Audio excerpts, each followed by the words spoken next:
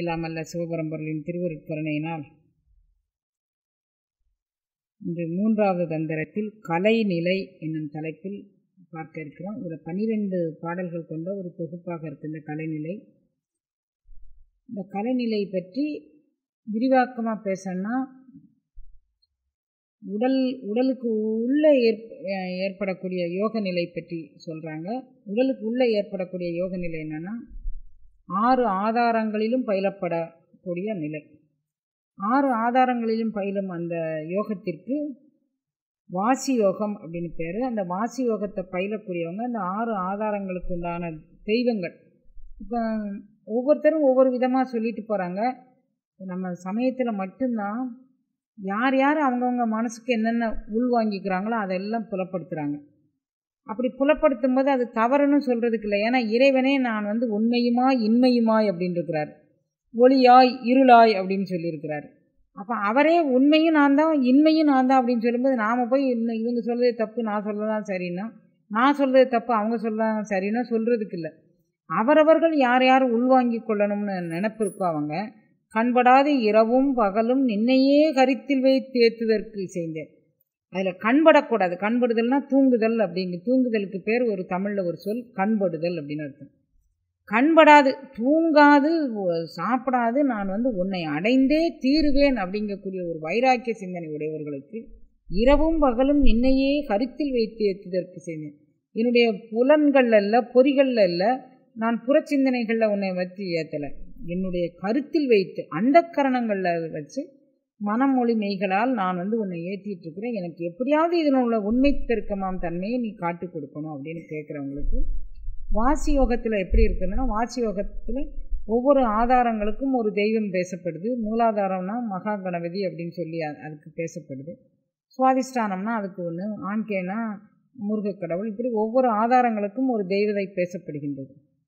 இதே இது வெவ்வே வேறு நிறையில் சொன்னாங்கன்னா மூலாதாரத்திற்கு பிரம்மா விஷ்ணு ருத்ரன் மகேஸ்வரன் சதாசிவன் அஞ்சு ஆதார கலைகளுக்கு அவர்களை பேசப்படுது. பறை பறை அதீதம் உண்மனை அப்படிங்கக்கூடியது அது வேற பேசப்படுது. அதே அவங்கவுங்க புரிந்து கொண்ட மாதிரியும் அவரவர்கள் அனுபவித்த அனுபவ நிலைகளுக்கு தக்கவாறும் அவர்கள் அடைந்த அருள் நிலைப்பாடுக்கு தக்கவாறும் இதை பேசப்படுறாங்க. இதில் நம்ம என்ன தேர்ந்தெடுத்துருக்கிறோன்னா திருமூலர் திருச்சிந்தனை வழியாக நாம் என்ன உணர்ந்தோம் அப்படிங்கிறத பற்றி நம்ம சங்கத்தில் பேசுகிறோம் இது அப்படியே எல்லோரும் ஏற்றுக்கணும்லாம் அவசியம் இல்லை. ஒத்த கருத்துடையவர்கள் இதில் வந்து கலந்து நம்ம ஏற்றுக்கலாம் ஒத்த கருத்து இல்லாதவர்கள் இது அப்படியே ஒரு வணக்கம் போட்டு நம்ம விலகிக்கிட வேண்டியது. இதுதான் இதில் உள்ள நிலைப்பாடு. கலைநிலைங்கிறது எத்தனை பேருக்கு வந்து அகரக்கலைனா என்னன்னு தெரியும் உகரக்கலைனா என்னன்னு தெரியும் மகரக்கலைனா என்னன்னு தெரியும் விந்துக்கலைனா என்னன்னு தெரியும் நாதக்கலைனா என்னன்னு தெரியும் வியோமியா கலைனா என்னன்னு தெரியும் பரமக்கலைனா யாருக்கும் எந்த கலையும் பற்றி தெரியாது. அப்போ நம்ம அவங்ககிட்ட இதை பற்றி சொல்லணும்னா இப்போ நான் எதுக்காக வேண்டி நான் தெரியாத எதுக்குமா நீங்கள் எங்களுக்கு சொல்கிறீங்க அப்படின்னு நீங்கள் ஒரு கேள்வி கேட்கலாம். நம்ம பிள்ளைங்க எங்கேயாவது போய் யாராவது பதினாறு கலைகள் சந்திரகலை பதினாறு கலைகள் இருக்குது இது அருள் அனுபவத்தில் என்னுடைய உடலோடு நான் பயணிக்கக்கூடிய பயணமாக இது ஒரு படித்தரங்களில் நின்று மேலேறக்கூடிய வழியாக ஒரு ஏணிக்கெட்டாக படிக்கட்டாக இது உபயோகமாக இருக்குது அப்படின்னு சொல்லி எங்காவது யாராவது இதை பற்றி பேசினா வியோமம் வியோம ரூபினி அப்படி இப்போ எல்லாம் பேசுகிறாங்கன்னு வச்சுக்கோங்க உண்மனை அப்படிலாம் பேசுகிறாங்கன்னு வச்சுக்கோங்க. இதெல்லாம் நம்ம க கருத்தில் அம்மா பதிய வச்சுருக்குறாங்க. அப்படிங்கக்கூடிய ஒரு நிலைப்பாடு உங்களுக்கு தெரியணும். அந்த அளவுக்கு தெரிஞ்சால் போதும். அருள் அனுபவத்துக்கு எப்போ வருது? நாம் வந்து கண்படாது இரவும் பகலும் அவனே கருத்தில் வைத்து ஏற்றி எனக்கு இந்த ஏற்றுதல் அப்படின்னாலே நம் நம்ம கேசரி யோகத்தில் நின்று பயிலப்படக்கூடியதான். அப்போ கண்படாத தூக்கம் இல்லாமல் கேசரி யோக சிந்தனையிலே நின்று அந்த பரவழி அனுபவத்தை நோக்கி அந்த ஒளி அனுபவத்தை நோக்கி நம்ம மனதை செலுத்தினோம்னா வாக்கும் மனமும் கடந்த மனோலயம் தேக்கியே என்பன் சிந்தை எழுந்திட அப்போ வாக்கு இல்லாதது மனம் இல்லாதது மனோலயமானது அது நம் சிந்தைக்குள் தேக்கும். அந்த அருள் அனுபவத்திற்கு அது வரணும் அப்படிங்கிறதுக்காக வந்து இந்த பதிவை நம்ம சொல்கிறோம் அப்போ இதில் என்ன இந்த கலை நிலை அப்படிங்கக்கூடியதில் என்ன வருதுன்னா வாசி யோகத்தில் உடலை சார்ந்த ஆறு ஆதார ஆற்றலும் உடலை சார்ந்ததாக உள்ளது. இந்த உடலை சார்ந்த ஆறு ஆதார ஆற்றல்கள் வழியாக பயணிக்கக்கூடிய இந்த உயிரானது உடலில் எந்தெந்த நிலைப்பாடுகளில் மகேஸ்வர தத்துவம் சதாசிவ தத்துவம் அப்படிங்கக்கூடியதிலே அது பயணித்து வருது. இதுக்கு பேர் வாசி யோகம் அப்படின்னு பேர். இந்த வாசி யோகம் பண்ணுற உயிர் எந்த நிலையை அடையும் அப்படின்னா இப்போ பிரம்ம தத்துவம் அப்படிங்கக்கூடியது இருந்ததுன்னா அந்த பிரம்ம அதை அதில் மூலாதார ஆற்றலை இயக்க தெரிந்து அதில் கீழ் வாயு அதாவது காம வாயுகளாக அது கழிக்கப்படாமல் காம வாயுவை ஜெயித்து அது மேலேறக்கூடிய தன்மை இருந்ததுன்னா நமக்கு பிரம்மபதம்ங்கக்கூடிய பதம் வரைக்கும் கிடைக்கும். அது எல்லாரும் நாற்பத்தி எட்டாயிரம் ஆண்டு காலம் அதுக்கு வாழ்வு நிலைன்னு சொல்கிறாங்க அது எத்தனையோ ஒவ்வொருத்தர் ஒவ்வொரு ஆயிரக்கணக்கான ஆண்டு காலம் அதுக்கு வாழ்வியல் நெறின்னு சொல்கிறாங்க அந்த பதத்திலே நம்மளை கொண்டு சேர்க்கக்கூடியது ஒரு ஆதாரத்திலே நின்றோம்னா. அடுத்த ஆதாரம் போனோன்னா விஷ்ணு லோகம்ங்கக்கூடிய லோகத்தில் நம்ம விஷ்ணுபதத்தில் இருக்கலாம். அது தொண்ணூற்றி ஆறாயிரம் ஆண்டு காலம் இருக்கக்கூடியதுன்னு அதுக்கு ஒரு ஆண்டு கணக்கு சொல்லாங்க இது நான் ஏறத்தாழ தான் சொல்கிறேன் அவ்வளோ கரெக்டாக சொல்லலை. பிரம்மா இதை வந்து அப்பர் சுவாமிகள் பதிவு பண்ணியிருக்கிறாரு இது தாய்மானவர் பதிவு பண்ணியிருக்கிறாரு நம்ம வள்ளல் பெருமானார் பதிவு பண்ணியிருக்காங்க. எத்தனை எத்தனை ஆண்டு காலம் திருமூலரும் பதிவு பண்ணியிருக்கிறார். அப்போ இந்த ஆண்டு காலம் அவர்கள் அந்த உலகத்தில் வாழ்வாங்க. இந்த ஆதார ஆற்றலை உடலோடு கூடிய ஆதார ஆற்றலை நாம் பயின்று வந்தோம்னா. உடல் கடந்து ஒரு பயணம் இருக்குது அப்படிங்கக்கூடியதை நம்ம திருவாசக சிந்தனையில் பல முறை நம்ம பார்த்துருக்குறோம். எப்படி ஒரு நாளைக்கு ஒரு முறைனாலும் உடலோடு கூடிய பயணம் என்ன உடல் கடந்த பயணம் என்னன்னு ஒரு நாளைக்கு ஒரு முறைனாலும் ஒரு மணி நேர சிந்தனையில் நம்ம ப நம்ம அதை கொண்டுட்டு வந்திருக்கோம் எண்ணூறு நாளைக்கு மேலே அந்த நிகழ்வு நடந்திருக்கு. அப்போ எண்ணூறு தடவை அதை சிந்திச்சிருக்கோம் மீண்டும் மீண்டும் சிந்திக்கிறதுக்கு காரணம் என்னென்னா இவைகள்லாம் வந்து சிந்திச்சுக்கிட்டே இருக்க வேண்டியது. கருத்தில் வைத்து ஏற்றுதற்கு. பண்படாது. தூக்கமே இல்லாமல் சோம்பல் இல்லாமல் மாயை இல்லாமல் கருத்தில் நின்று ஏற்று கொஞ்சம் பராக்கு பார்த்தானாலும் நம்ம தடிக்கு வந்துடும் இப்போ ஒரு மலை மேலே ஏறிக்கிட்டு இருக்கோம் மலை ஏற்றத்தில் ஏறும்போது மேடு பள்ளமான இது நம்ம ஏற்கனவே பழக்கம் இல்லாத மலையில் ஏறுறோம். கவனமாக உற்று பார்த்து ஏறினா தான் நம்ம அதில் சரிவில்லாமல் போக முடியும். அப்படி இல்லை எங்கோ கவனத்தை வச்சுக்கிட்டு இருந்தோம்னா பழகிய படித்துறைனா நம்ம பாட்டில் போயிடலாம். தந்தரையில் நடக்கிறோன்னு வச்சுக்கோங்க வேகமாக நடந்துடலாம். தந்தரையில் நடக்கிறது நம்ம நம்ம சுவாபமாக நம்மளுடைய வாழ்க்கை தர மாதிரி ஏணி ஏணிப்படி ஏறி போகிறதுங்கிறது இந்த படிநிலையில் ஏறி போகிறது அப்போ நம்ம அதில் கவனமாக போகலைன்னா நம்ம கீழே உருண்டு விழுவதற்கு பலவிதமான காரணங்கள் இருக்குது அதனால் இதில் அந்த வாசி யோகத்தில் நம்ம உடலோடு பயணிக்கக்கூடிய பயணமாக அதனுடைய ஆற்றலை பெறக்கூடியது அதில் அட்டமா சித்திகள் கர்ம சித்திகள்ங்கக்கூடியதில் நம்ம உலகியல் நிலைப்பாடில் நான் பெரியவன் என்னால் சாதிக்க முடியும் நான் வந்து நீரில் நடப்பேன் நெருப்பில் நடப்பேன் ஒரு கட்செவி அடுத்து ஆற்றுவேன் ஒரு இது யானையை வந்து கையால் நெகிடிக்கன ஒரு கட்டையை ஏந்திட்டு வாப்பா அப்படின்னு சொல்லி கூட நான் ஒரு கையை அசைச்சேன்னா அது ஏந்திட்டு வரும். ஒரு பாம்பை பிடிச்சி ஆற்றுவேன். எதனாலும் செய்வேன். அதெல்லாம் வந்து இந்த உடலோடு பயணிக்கக்கூடிய வாசியோக பயன்பாடாக எனக்கு கிடைக்கக்கூடிய சித்திகளில் இவைகள்லாம் உண்டு. இந்த சித்திகளுடைய விரிவாக்கம் ஆடுரு சித்திகள் அறுபத்து நான்கு நான்கு ஏழு கோடியும் கூடுரு சித்திகள் கோடி பல் கோடியும் சொல்லியிருக்கிறாங்க. இவங்கள சும்மா அட்டமா சித்தின்னு சொன்னாலும் இவர்களுக்கு உற்ற உறவானவர்களை பற்றி நிறைய சொல்லுங்க அப்போ இந்த உடலோடு பயணிக்கக்கூடியதை நல்லா உள்வாங்கி வச்சுக்குவோம். ஒரு நாளைக்கு அதை நமக்கு சித்தி ஆக்கும்போது ஓ இந்த அனுபவத்தை தான் திருமூலர் சொன்னார் அப்படிங்கக்கூடியது நமக்கு உணர்வுக்கு வரணும். உடலில் பயணப்படக்கூடியது பிரம்மா விஷ்ணு ருத்ரன் மகேஸ்வரன் கூடிய நிலைப்பாடுகளெல்லாம் நமக்கு தரக்கூடிய ஒரு அட்டமா சித்திகளில் உண்டான நிலைப்பாடுகள் பற்றியது. உடலோடு தொடர்புடைய ஆறு ஆதாரங்களிலும் இந்த கலைகள் பிரணவ பிராணாங்கக்கூடிய அந்த காற்று பயணிக்கும் போது இது உடலோடு பயணிக்கும் போது கிடைக்கக்கூடிய நிலைப்பாடு. இந்த உடல் கடந்து பயணிக்கக்கூடிய நிலைப்பாடில் அதுக்கு பேர் பிரணவ யோகம் அதுவும் பிராணன் இந்த உடலோடு பயணித்து உடல் கடந்து பயணிக்கக்கூடிய அருள்நிலைக்கு போகிறது அது இது வாசி யோகத்தை சொன்ன உடலோடு பயணிக்கக்கூடியதுக்கு பிரணவ யோகம் உடல் கடந்து பயணிக்கக்கூடியதை சொன்னேன் அதை நான் நான் சொல்லலை. திருமந்திரத்தில் சொல்கிறாருங்கிறத நான் உங்களுக்கு உள்வாங்கி சொல்கிறேன் அப்போ உடல் கடந்து பயணிக்கக்கூடியது பிரணவ யோகம் அது வந்து மந்திர யோகம்னு அந்த யோகத்தை சொல்கிறாங்க பிரசாத யோகம் அப்படிங்கக்கூடியதும் அந்த அந்த யோகத்துக்கு சொல்லாங்க இந்த பிரசாத யோகங்கிறத பற்றி காளி கண்ணுடை வள்ளலார் அப்படின்னு ஒரு பெருமான் இருந்தார். அவர் நம்ம வள்ளல் பெருமானாருக்கு முற்பட்ட காலத்தவர். அவர் இந்த பிரசாத யோகத்தை மிக விரிவாக்கமாக பேசியிருக்கிறார். அந்த பிரசாத யோகத்தை தன்னுடைய அனுபவத்தில் வாங்கி கொண்டு இதுக்கு ஒரு விளக்கம் கொடுத்துருக்கிறாரு வள்ளல் பெருமானார். காளிக்கண்ணுடைய வள்ளலார் எழுதின பிரசாத யோகத்திற்கு இவர் விளக்கம் கொடுத்துருக்கிறார். இது தவிரவும் நம்மளுடைய திருப்பனந்தாள் ஆதீனத்தில் உண்டான ஆதீனகர்த்தர்கள் இரண்டு பேர் இந்த பிரசாத யோகமான நூல்கள் இரண்டு மூன்று நூல்கள் அவங்க அவங்களும் அருளி செய்திருக்கிறாங்க. அப்போ இந்த பிரசாத யோகம்ங்கிறது என்ன?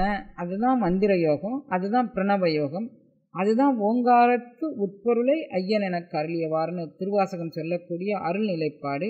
ஒய்யே என் உள்ளத்துள் ஓங்காரமாய் நின்ற வெய்யாய் தனியா யமானனாம் விமலா. உய்யே என் உள்ளத்துள் ஓங்காரமாய் நின்ற.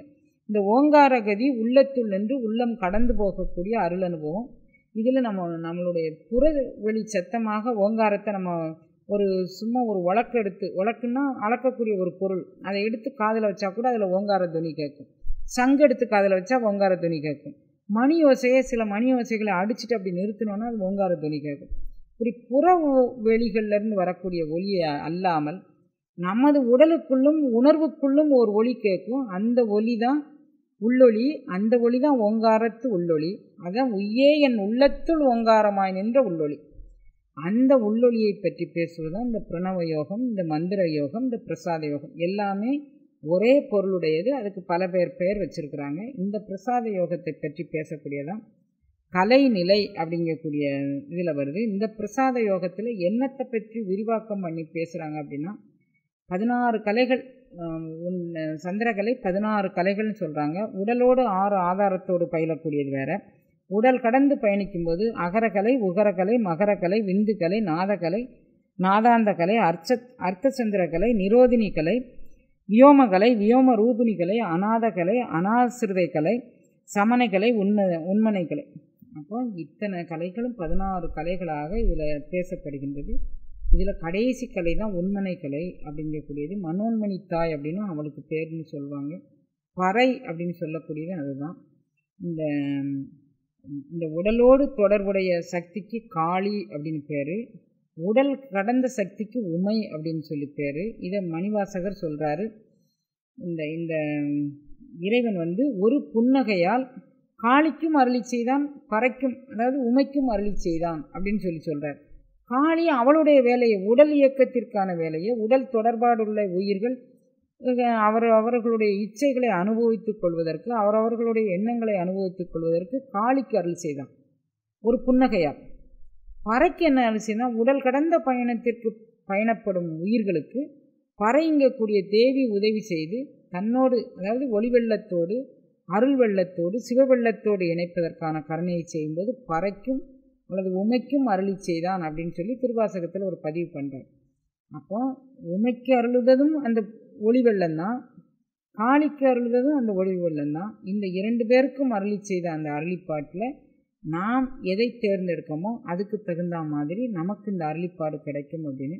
இந்த பதினாறு கலைகளிலும் பயணப்படக்கூடிய உயிர் என்னென்ன விதமான அனுபவங்களை அனுபவிக்கும் அப்படிங்கிறத பற்றி சொல்கிறாரு காதல் வழி செய்த கண்ணுதல் அண்ணலை காதல் வழி செய்து கண்ணுற நோக்கிடில் காதல் வழி செய்து கங்கை வழி தரும் காதல் வழி செய்து காக்கலுமாமே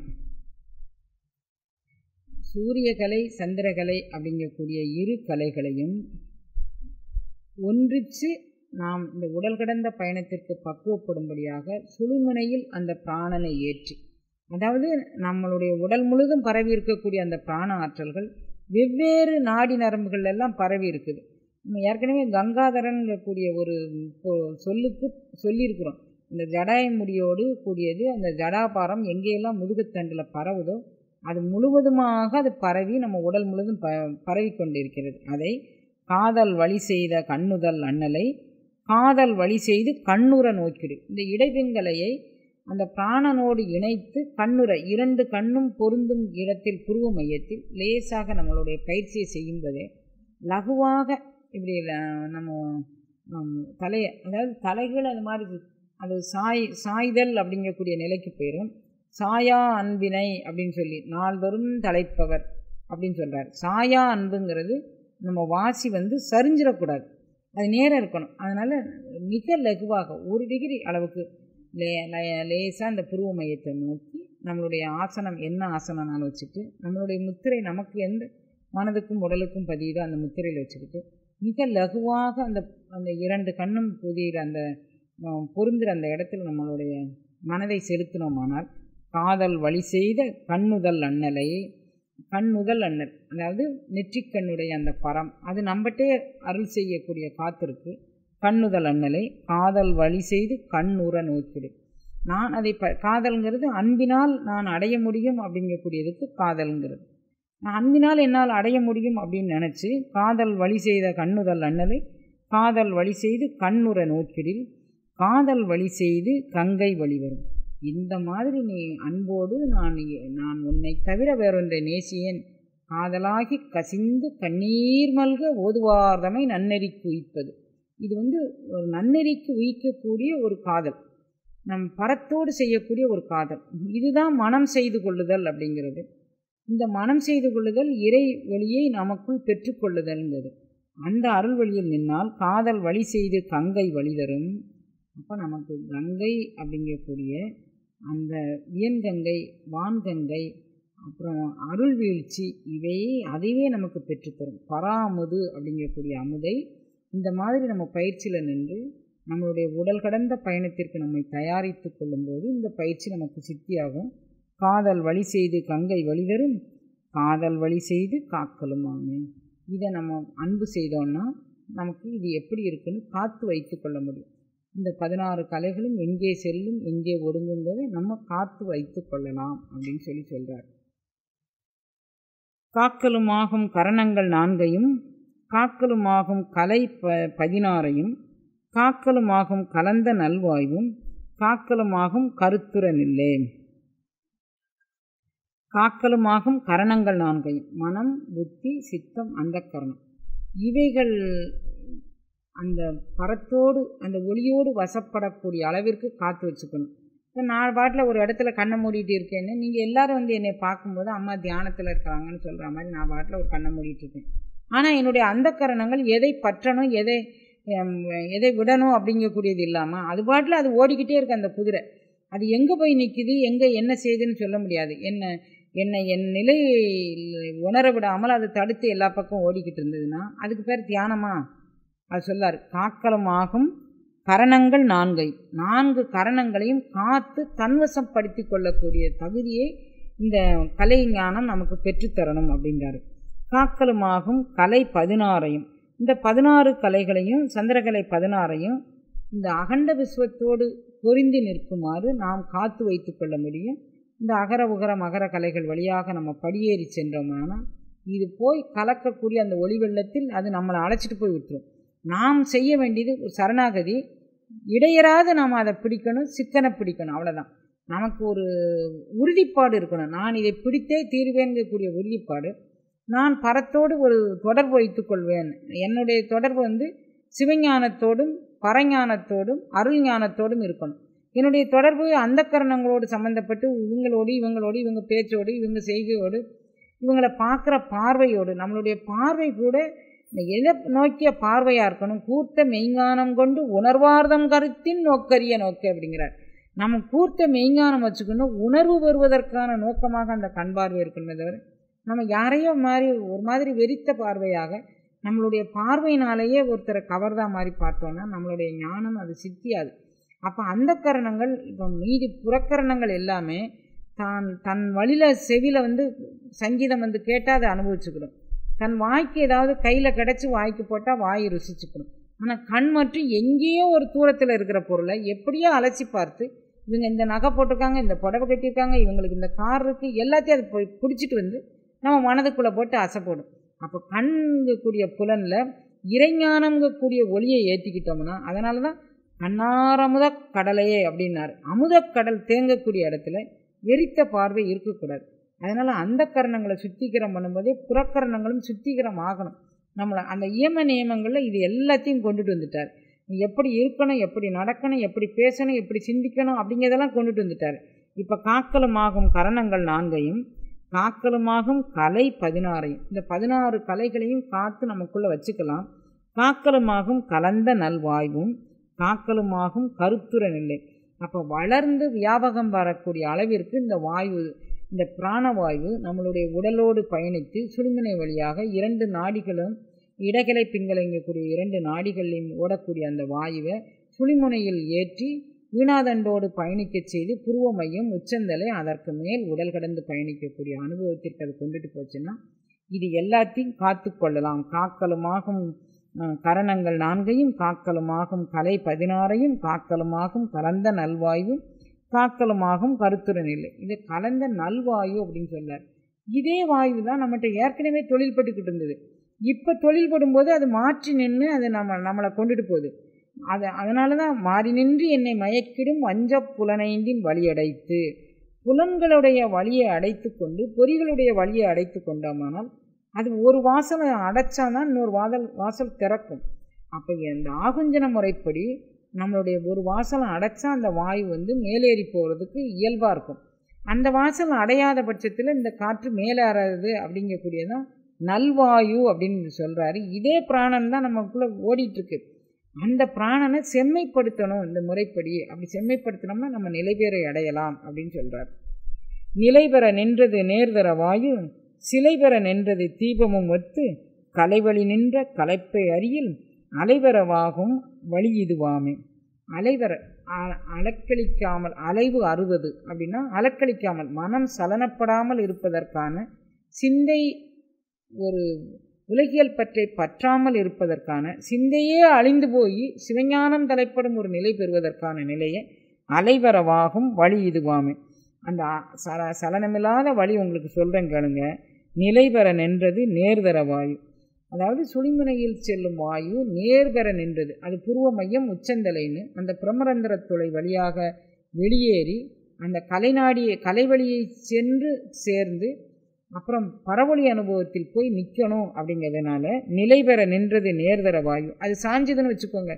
உலகியல் சிந்தனைக்கு வந்துச்சுன்னா அது நிலை பெற்று நிற்காது நம்மளுடைய எல்லா விதமான எண்ணங்களும் சிந்தனைகளும் மாறிப்போய் விடும். அதனால் நிலை பெற நின்றது நேர்தரு வாயு சிலை பெற நின்றது தீபமும் ஒத்து.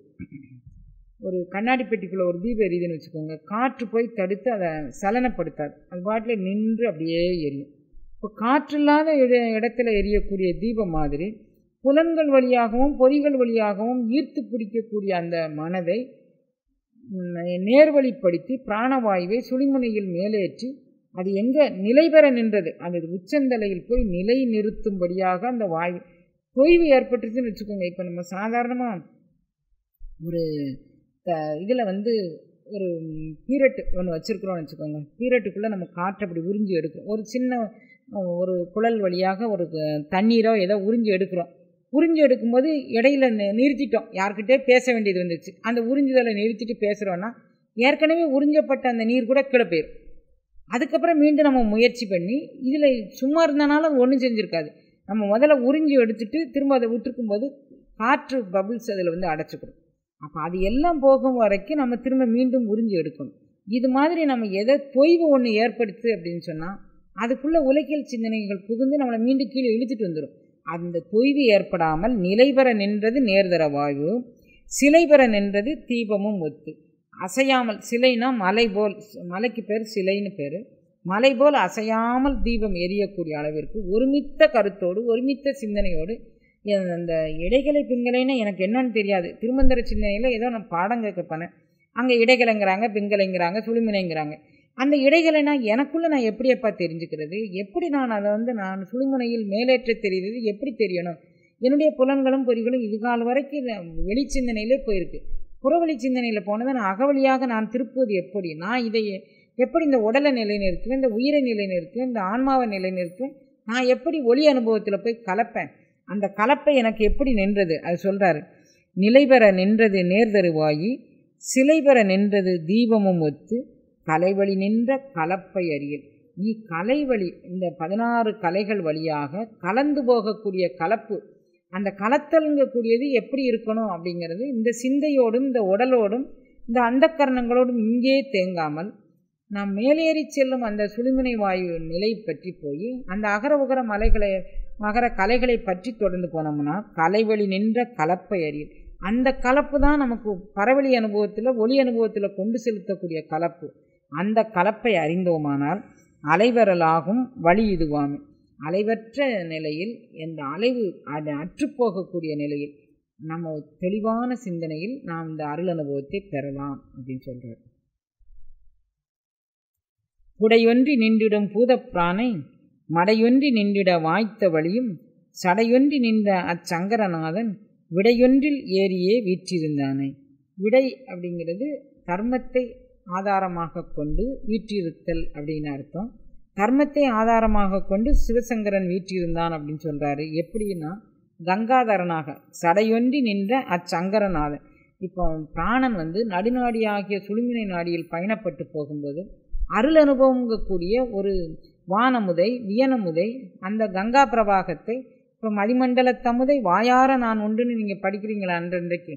அந்த மதிமண்டல தமுதை நமக்குள்ளே பெற்றுக் கொடுக்கும். அப்படி பெற்றுக் கொடுக்கக்கூடியதை அந்த சடையுடையான் சடையுடையான் அப்படிங்கக்கூடிய இடமே நமக்கு காமிச்சு கொடுக்கறது என்னன்னா இந்த அகண்ட வியாபகமாக பறந்திருக்கக்கூடிய அந்த அருள் அனுபவத்தை உச்சந்தலை வழியாக உள்வாங்கி இந்த உடம்பு நாடி நரம்புகள் அனைத்திலும் பரவச் செய்யக்கூடிய ஒரு அருட்கருணை அது வான்கருணை அப்படின்னு சொல்லி மணிவாசகர் சொல்வார். அப்போ புடையொன்றி நின்றிடும் பூதப்பிராணி. எங்கும் நிறைந்து குடைனா பக்கம் அப்படின்னு அர்த்தம். எங்கும் நிறைந்திருக்கக்கூடிய அந்த பூதநாயகன் அந்த பஞ்சபூதங்களில் மட்டுமல்ல அகண்ட விஸ்வத்திலையும் அவன் பறந்துருக்கிறான். பஞ்சபூதம் இல்லாத இடமே கிடையாது. அந்த பூதநாயகனை மடையொன்றி நின்றிட வாய்த்த வழியும்.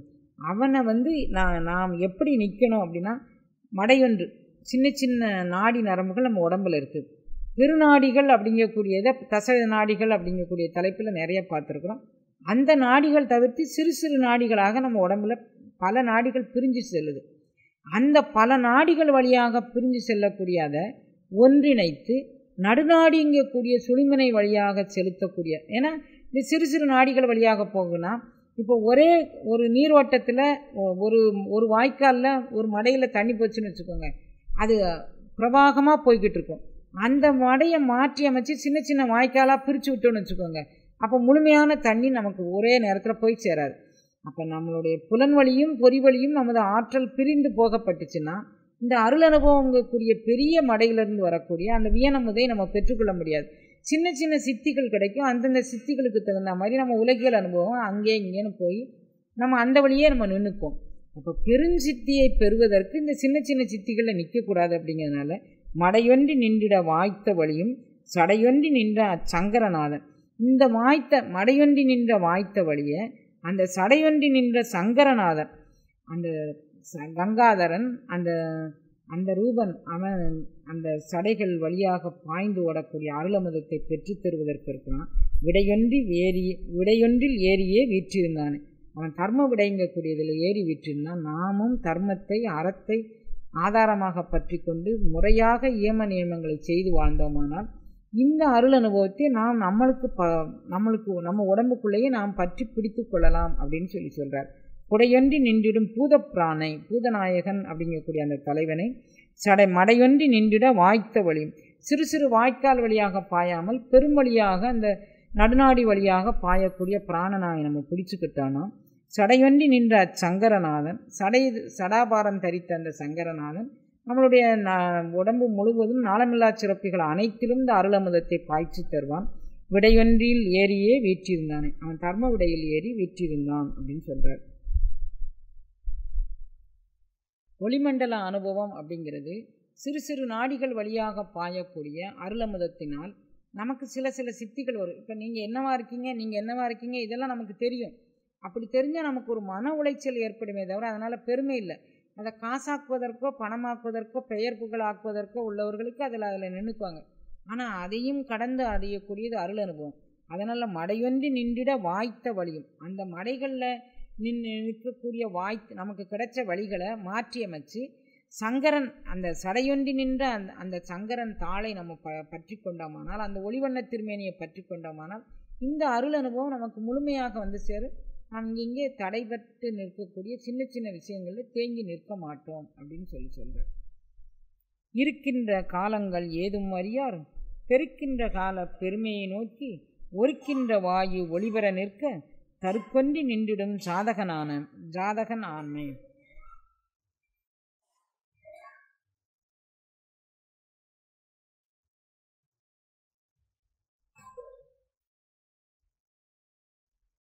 இருக்கின்ற காலங்கள் ஏதும் அறியார்.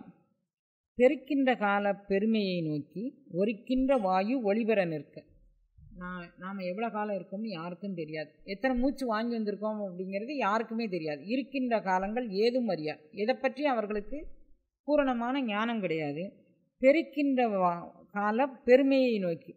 இப்போ இனி வரக்கூடிய காலத்தில் என்ன பெருமை அடையணும்? இந்த இந்த அருள் அனுபவத்தை நாம் எவ்வாறு தக்க வைத்து கொள்வது அப்படின்னு ஒருக்கின்ற வாயு ஒளிபெற நிற்க. இந்த சுழுமுனை வழியாக இந்த வாயுவை இடைவெண்கலைகளில் ஓடக்கூடிய அந்த வாயுவை பிராணனை சுழுமுனை வழியாக நாம் ஒளிபெறும் வண்ணமாக நோக்கி செலுத்தினோமானால் அருள் அனுபவத்தை பெறும்படியாக நோக்கி செலுத்தினோமானால் ஒருக்கின்ற வாயு ஒளிபெற நிற்க தற்பன்றி நின்றிடும் சாதகனாமே. இவனுக்கு பெருமை தரத்தக்க சாதகன் அப்படின்னா பயிற்சியாளன் யோகி அப்படின்னு அர்த்தம். சாதகன் இந்த இத்தனை ஒளிவண்ண திருமேனியை உள்வாங்கி கொள்ளக்கூடிய ஒரு பெருமையை பெறுவான். அப்போ நம்ம பெருக்கின்ற கால பெருமையை நோக்கி ஒருக்கின்ற வாயு ஒளிபெற நோக்கி. துணிமுனையின் வழியாக இந்த வாயுவை செலுத்த தெரிந்தவர்கள் இந்த அருள் பெருமையை பெறுவார்கள். ஏனையோர் பெறமாட்டார்கள். தங்களுடைய காலம் என்ன? நாம் எவ்வளோ காலம் இருப்போங்கிறதே பற்றி தெரிய மாட்டார்கள் அப்படின்னு சொல்லி சொல்கிறாங்க சாதகமான அத்தன்மையை நோக்கி மாதவமான வழிபாடு செய்திடும். போதகமாக புகழுற பாய்ச்சினால் வேதகமாக விளைந்து கிடைக்குமே. வேதகம் அப்படின்னா நமக்குள்ள நம்ம உடம்புக்குள்ள உயிருக்குள்ள உணர்வுக்குள்ள நடக்கக்கூடிய ரசாயன மாறுதல் அப்படின்னு பேர் வேதகம் வேதகத்துக்கு இரும்பை பொன்னாக்கும் ரசவாத வித்தை அப்படின்னு ஒரு பொருள். வேதித்தல் அப்படின்னா பொதுவாகவே ஒரு பொருளை சுத்திகரம் செய்து அடுத்த நிலைக்கு அதை கொண்டுட்டு போகக்கூடியது தான் வேதித்தல் அப்படிங்கிறதுக்கு அர்த்தம். அப்போ இரும்பை பொன்னாக்கக்கூடிய வேதகத்தை செய்யக்கூடியது. இந்த ஊன் சார்ந்த இந்த உடலை உணர்வு சார்ந்ததாக ஒளி சார்ந்ததாக மாற்றக்கூடிய வேதகத்தை இந்த வாயுவே செய்துவிடும் அப்படின்னு நமக்கு அடையாளப்படுத்தி காமிக்கிறாரு. வேதகமாக விளைந்து கிடக்குமே.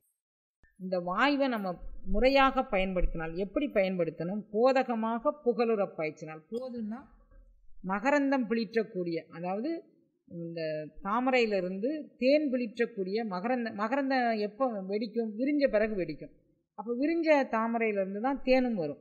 அப்போ அன்று அலர்ந்த விரிந்த தாமரையிலிருந்து தேன் வரக்கூடிய அளவிற்கு நம்மளது நம்மளுடைய சகசரதள தாமரையிலிருந்து அந்த அருளாற்றல் அந்த ஒளி நிலையிலிருந்து அகண்ட பிரபஞ்ச ஆற்றலிலிருந்து நமக்கு ஒளிவண்ணமாக உள்ளே வரும். போதகமாக புகழுற பாய்ச்சினால் அது எப்போது கிடைக்கும் அப்படின்னா புகழுற பாய்ச்சினால் நீ உய்வடைவதற்காக வேண்டி புகழ் அடைவதற்காக வேண்டி உன்னுடைய வாழ்வு செம்மைப்படுவதற்காக வேண்டி இடகலை பெண்கலையில் ஓடக்கூடிய வாயுவை பிராணனை சுழுங்கினை வழியாக நீ பாய்ச்சி தெரிந்து உன்னுடைய உச்சந்தலையில் மலரக்கூடிய அந்த தாமரையை மலர்த்தி நீ வந்து உன்னுடைய ஞானத்தை பெருக்கி கொண்டாயானால் போதகமாக புகழுற பாய்ச்சினால் வேதகமாக விளைந்து கிடைக்குமே.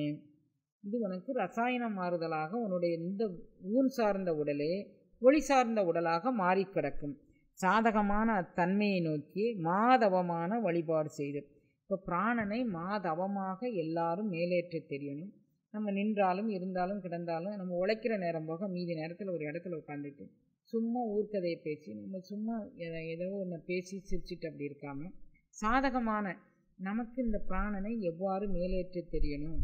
எப்படி அதற்கு நாம் என்ன பண்ணணும்? அப்படிங்கிறத நம்ம கொஞ்சம் கொஞ்சம் நேரம் நம்ம அப்படி இருந்தால் கூட நம்ம மனதை அதில் செலுத்துகிறோமானா சாதகமான அத்தன்மையை நோக்கி மாதவமான வழிபாடு செய்து தவத்திற்கெல்லாம் பெரிய தவம் இந்த மாதிரி சுழுமுனை நாடி வழியாக நம்ம பிராணனை செலுத்தி நம்மளுடைய சகசரதள தாமரையை விரியச் செய்வதான தவமே பெரிய தவம் அப்படின்னு சொல்லி சொல்கிறாரு அஞ்சு பாடல் போதுமா? இந்த மீதியை ப பண்ணணும்.